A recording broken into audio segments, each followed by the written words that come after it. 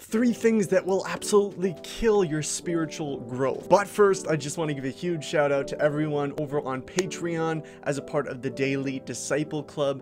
Daily Disciple Club members are people that are passionate about Jesus and want to support me in my mission of helping people follow Jesus daily. So thank you if you're a part of the Daily Disciple Club. And if you'd like to join, head on over to dailydisciple.ca slash club. The link is in the description. Thanks so much, guys. So today we're talking talking about three things that will absolutely kill your spiritual growth. This is serious stuff because we want to be progressing in our spiritual growth, but a lot of things, there's a lot of things that'll stifle it. So the first thing is is secret sin. Ultimately, there's no actual secret sin to God because God sees everything. Proverbs 28 13 it says whoever conceals his transgressions will not prosper but he who confesses and forsakes them will obtain mercy. Probably one of the most common secret sins is pornography. Um, it is probably the most widespread just because it is has infiltrated our culture. It has really torn people's lives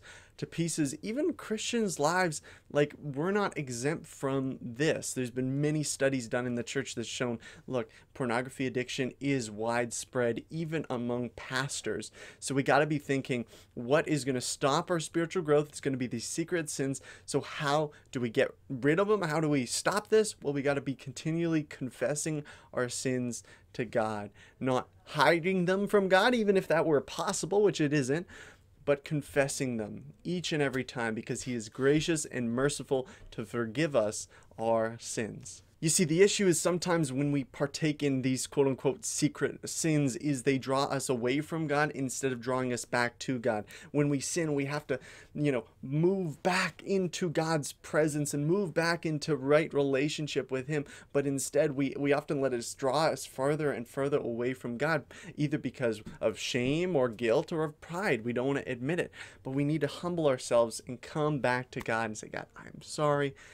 Can you please forgive me? And God will always forgive us. And for Christians, He has already forgiven us our sins, past, present, and futures, so we can draw back to the throne with confidence. So, the second thing that will stifle your spiritual growth is intentionally spending large amount of time, a significant amount of time with people that are drawing you away from God. I want to make a couple things clear here having non Christian friends is important. It's actually essential for the Christian. You should never put yourself in some sort of spiritual bubble where there's only people that you, uh, you know, agree with or only hold your beliefs. That, that would be bad too. Because we're called to go into all the world to make disciples. We can't just do that by, uh, you know, excluding everyone else that doesn't hold our specific beliefs according to whatever denomination you're a part of. I want to make all that clear, but we also need to understand that look, the people that we spend a significant amount of time with, we need to be discerning to see are the, is this person moving me closer to Christ or moving me actually further away? Larry Crabb said this, every conversation either stimulates or dampens our desire for God. Have you found that to be true? Because in my life, there's definitely people that I will talk to, and they and it will just like yeah, it'll stimulate that desire for God and my passion for Him and that kind of thing.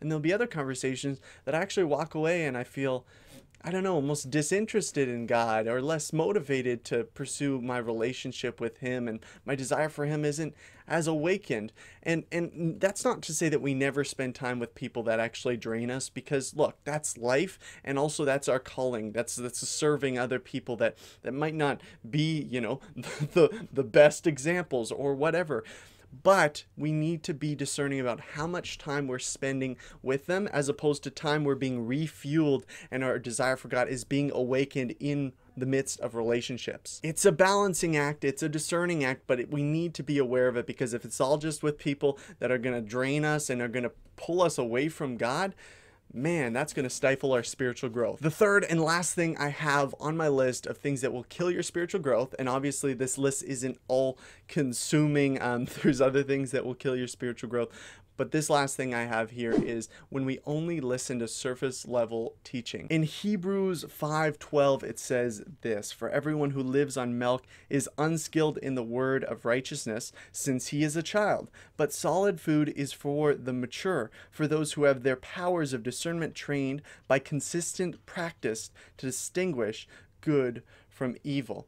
Now, notice here in this verse, it's talking about this idea of milk and solid food. When we have just become a Christian, man, we're, we're taking in all this information and we're really drinking the milk of the word. The idea of just this simplistic gospel. The gospel, you know, in the Bible talks about that even a child can understand the gospel which is true which is the beauty of god's word is it's very simple in some ways but it's so deep in other ways. There's this quote i don't exactly know who it is but it's like the, the bible can be understood by a child in some ways and yet understood and and the depths of it can be discovered by scholars for centuries and and millennia honestly. So it's like oh man this is this is really understandable stuff in some ways but also if we want to go deeper in our faith we got to move past just the basics right? We got to move past just the milk of the word. And so my encouragement to you is if you want to grow in your faith, find those places, find those outlets, whether that's with your with your church or whether that's online teaching as well.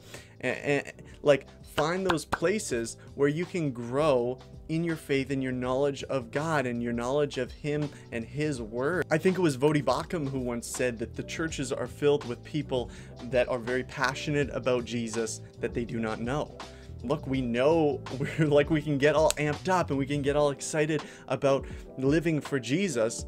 But look, do we actually know him? Do we know about him? Do we know who he is? Do we know God's character? We got to go deeper than just surface level teaching. Well, that's all I have to say. You can follow me at It's Isaac David on TikTok and Instagram. And um, yeah, subscribe down below because I'm putting out new videos every single Thursday. Give this video a like if you enjoyed it and comment down below maybe another thing that can stifle your spiritual growth. I'd love to hear from you. Thank you so much for watching. Thank you again to the Daily Disciple Club members on Patreon. Link in description to join. It is an amazing thing and really only through that support can I continue to do what I'm doing and I'm so thankful that I'm able to do it. So, I'll see you next time.